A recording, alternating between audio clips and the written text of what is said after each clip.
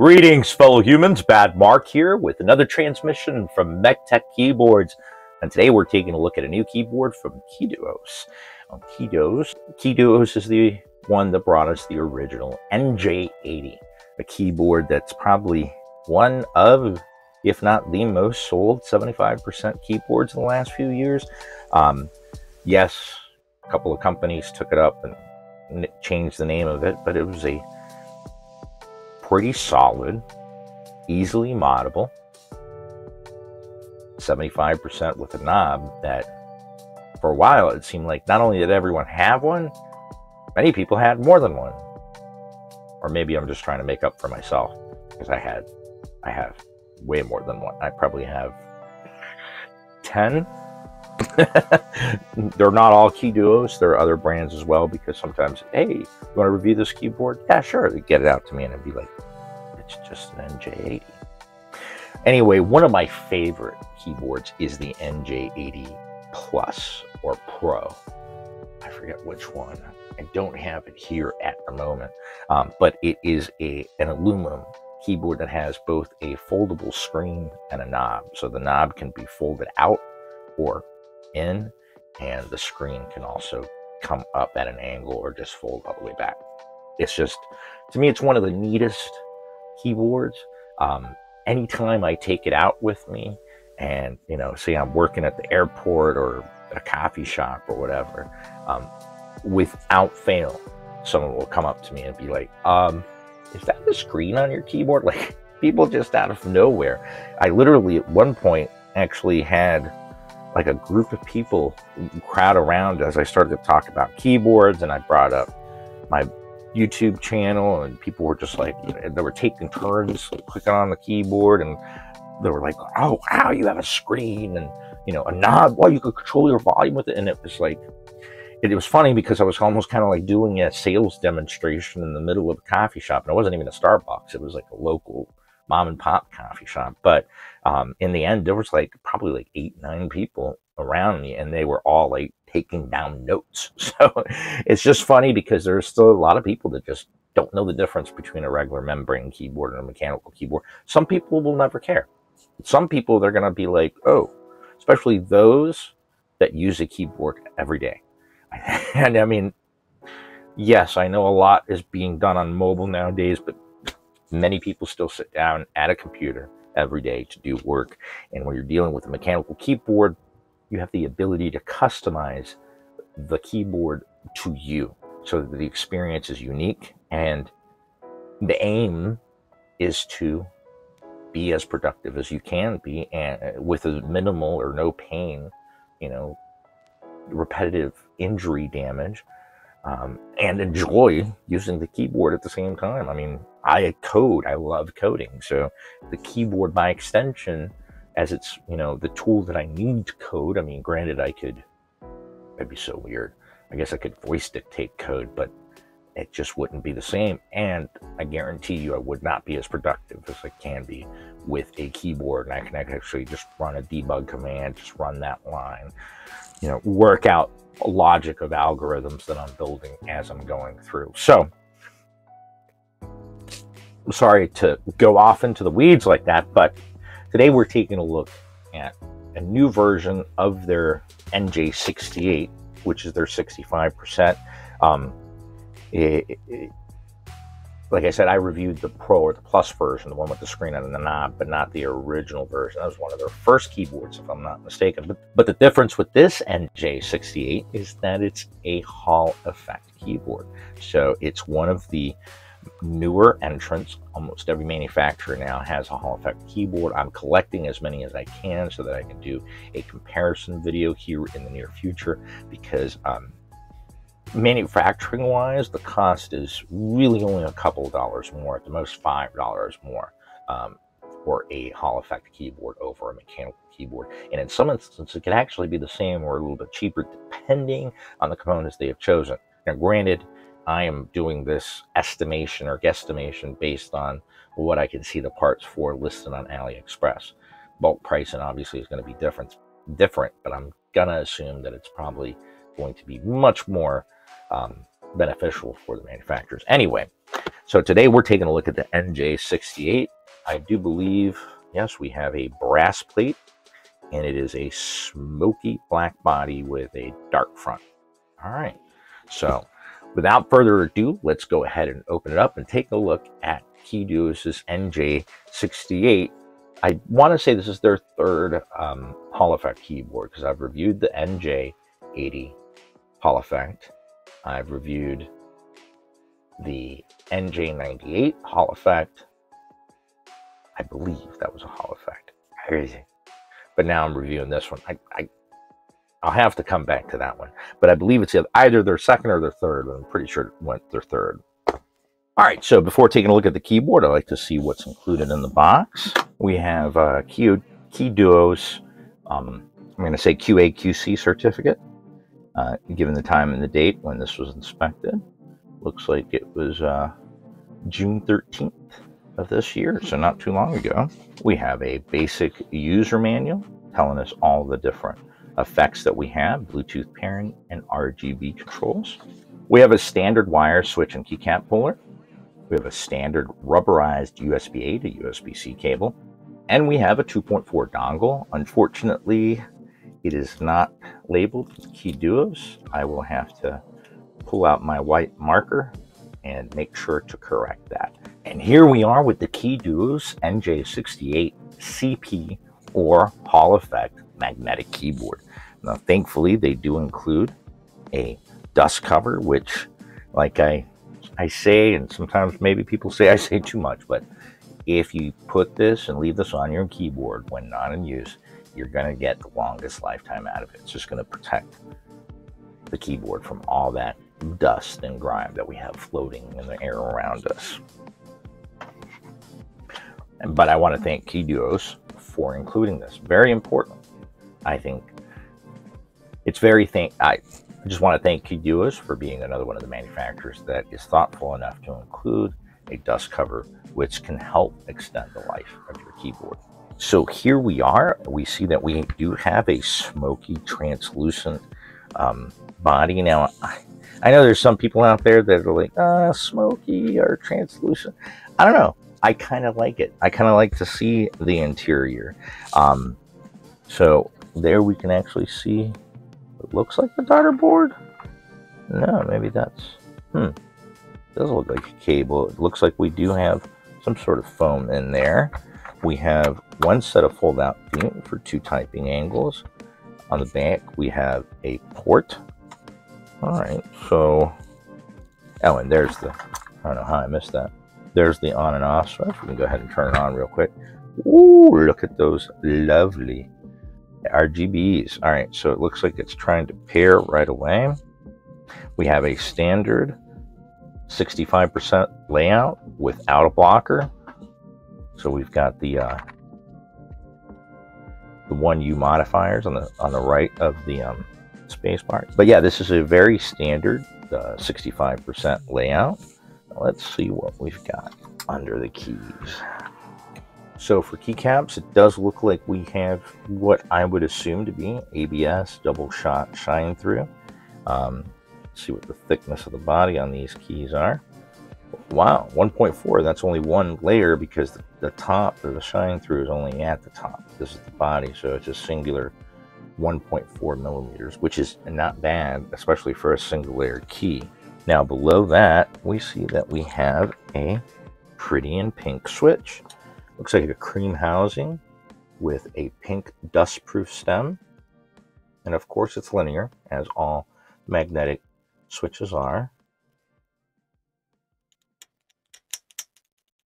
No ping.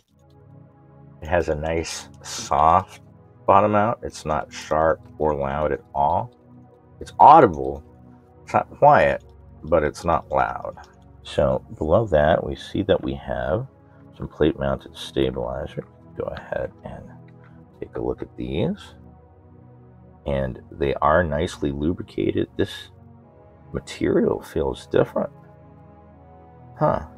They're lubricated in the right spots, but they're not overly lubricated. It's good to see. And on the PCB, it looks like we have north-facing PCB with SMD LEDs. and it does not appear like we have any room for screw and stabilizers, but we do have a brass plate. Um, I want to say the first time first time I saw a brass plate was on a TH80, um, and I, I was surprised at how well it sounded. So we've got a brass plate on a 60% keyboard. Now these plate mounted stabilizers are actually, they feel different, but one thing that I can say is they're well attached. The tolerances are just well matched and these plate stabilizers are not going anywhere.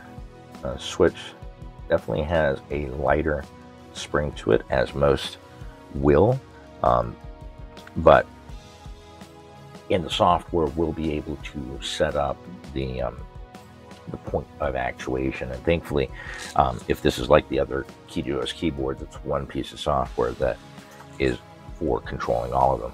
Uh, these keycaps are in the OEM profile. I don't know if I had mentioned that, but yeah, they're OEM. They are shine through. They have a gray gradient. So it sounds like a fairly standard keyboard. Um, I can't say I've encountered a out of the box sounds amazing uh, HE keyboard yet. Some of them sound a little bit better than others, um, but this one is very close to it. And they added a um, a PET layer above the PCB and perhaps some different dampening down below because I don't know what is actually I did want to take a look at that but yeah because we don't have a hole we can't see what's down below. It feels dense enough, but in my opinion,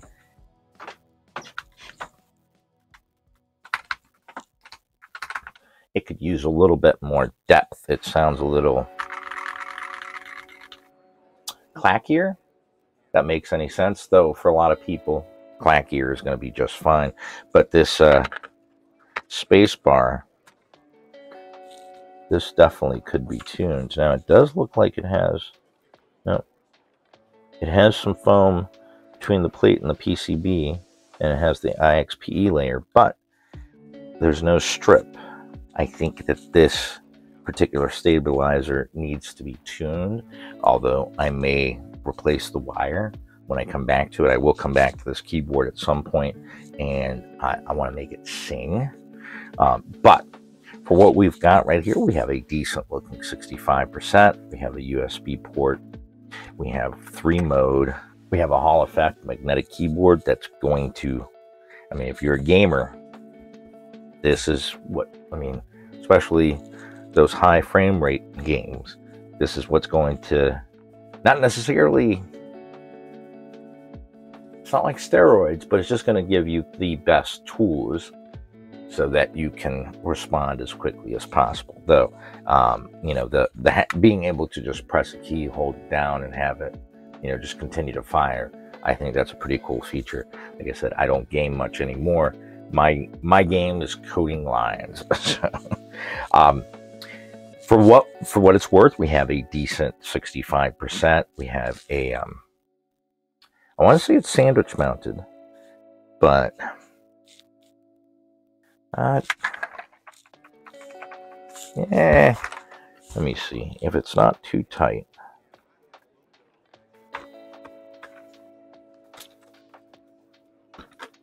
All right.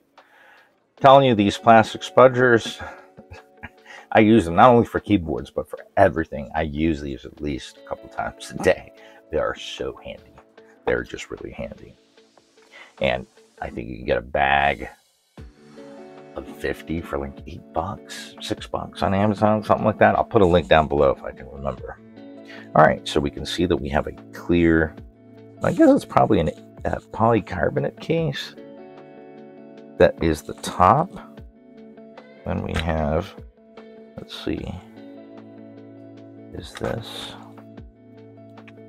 okay, pull out. Okay. So this is a. Uh,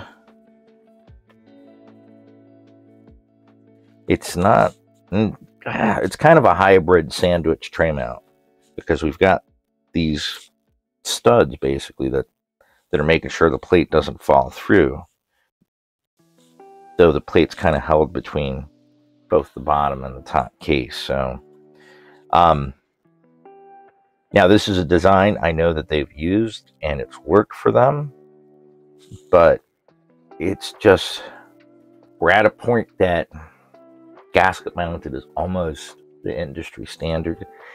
But taking into consideration that most of the other HE keyboards that are currently available in stock are also tray mount and you know not true gasket mount, then they're being competitive in that particular segment.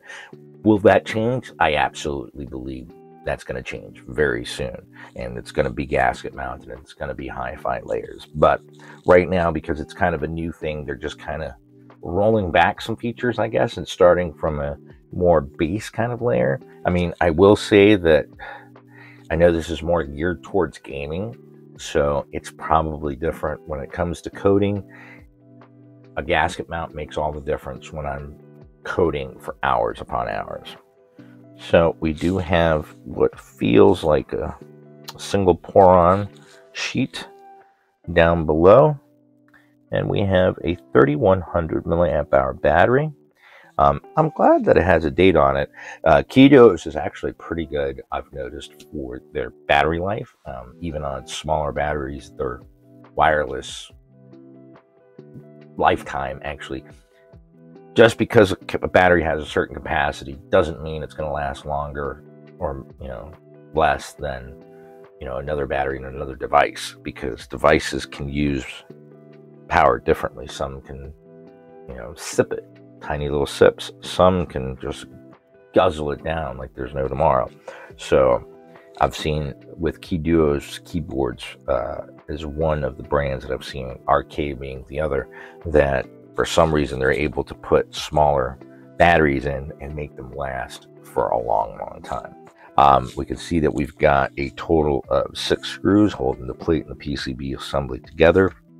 Um, we do have a nice thick cable and JST connector going to the battery.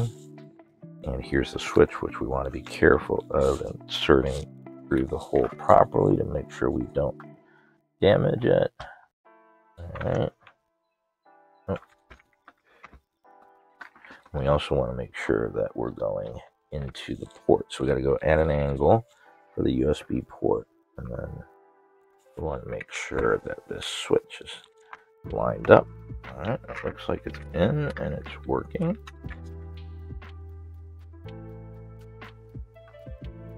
All right, so keeping it together, latch the back first, and then the front Okay. Oh, we gotta make sure we catch those lips. There we go. All right.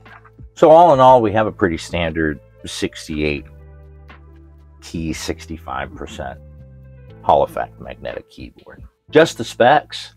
Today we took a look at the Keydous NJ68 CP-HE, a three-mode 68 key, 65% Hall effect keyboard. It has a standard 65% layout without a blocker. It comes with adjustable actuation, dynamic keystroke, and rapid trigger. As a north-facing Hall effect PCB without screw-in stabilizer support.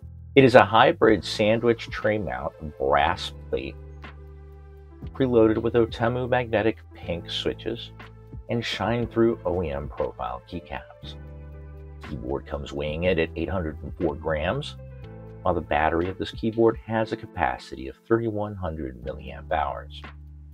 The chin of this keyboard sits at 21 millimeters above the typing surface, while the back sits at 27 millimeters, providing for a default typing angle of 7 degrees.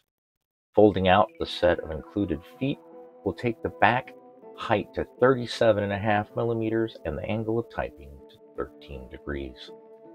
This keyboard MSRP is for $89.99 and is available on Keydous' website. Links below.